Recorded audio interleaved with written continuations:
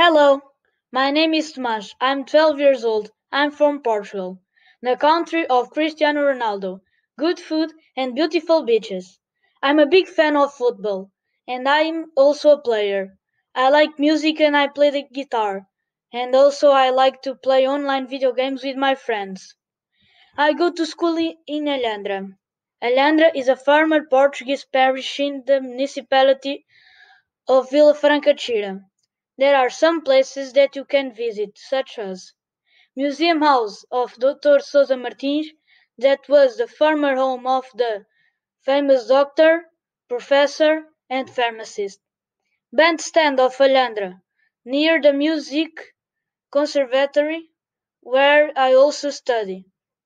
Mother Church of Alhandra, which has an amazing view over the Tagus River.